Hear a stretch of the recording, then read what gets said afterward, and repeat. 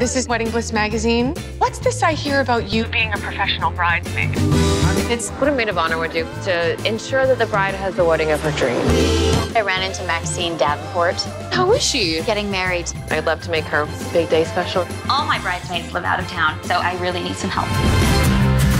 Matt is home. I've enlisted him to help. You are a good brother. Matt? You still smell like roses. Well, that's my signature scent since the eighth grade. You know, I had a major crush on you growing up. He did not. He was one of my best friends. Really?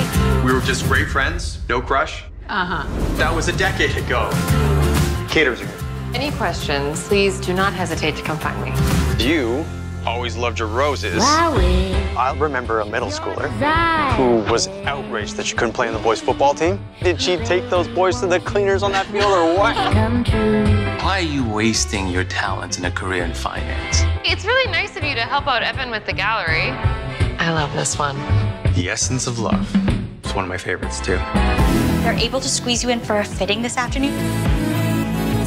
Wow, you look beautiful. Thank you. This is the longest you've been in Belle Isle in 10 years. Some things are exactly the same. I always hoped you'd move to Manhattan and we'd take over New York together.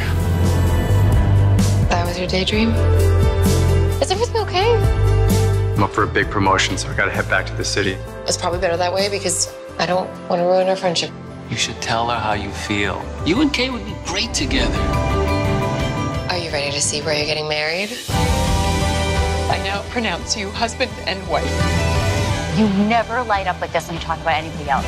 Go get him. Hey, Hey, that feeling I've been searching for, I have found it with you.